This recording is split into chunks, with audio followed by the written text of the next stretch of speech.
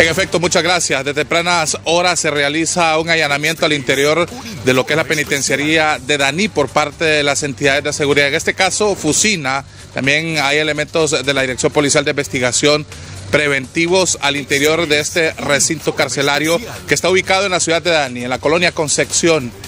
Todavía a esta hora no hay resultados. Lo que molesta estos allanamientos según es que no eh, fueron socializados con la población que anda de visita aquí en la penitenciaría de esta ciudad de Dani. Gente que viene eh, a visitar de lugares muy distantes que tienen que recorrer hasta aproximadamente 3, 4 horas. Madre, ¿usted de dónde, dónde nos acompaña? De aquí del paisaje. De aquí nomás de Daní. Sí, de aquí nomás. Ya, ya le dijeron que no hay visita, ¿verdad? Eh, no, yo tengo papeles.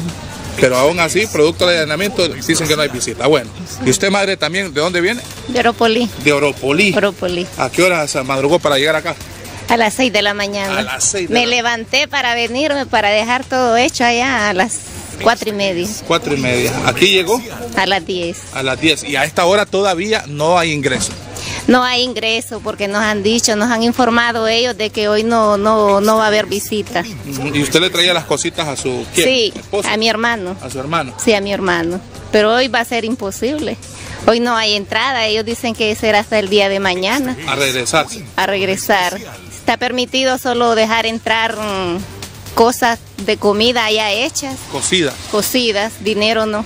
Dinero no. Dinero no, ni comida en crudo tampoco se acepta.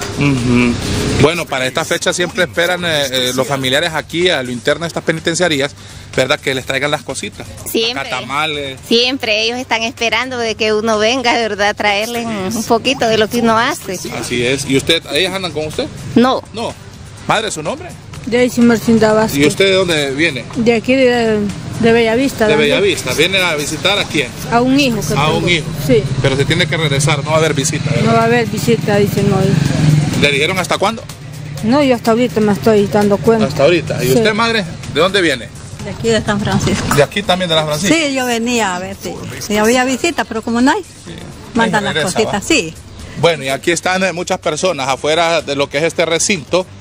Y eh, lo que se menciona respecto a estos allanamientos es para evitar eh, otro tipo de masacre como se ha dado en otras cárceles del país. Ya tienen eh, bastante tiempo de estar realizando estos allanamientos y aún no hay resultados referente a lo que se está realizando por parte de estas entidades de seguridad. A la espera, por supuesto, de lo que se encuentre en las emisiones posteriores, por supuesto, de Hable como Habla Televisión Digital. Con este reporte nosotros volvemos a estudio principal.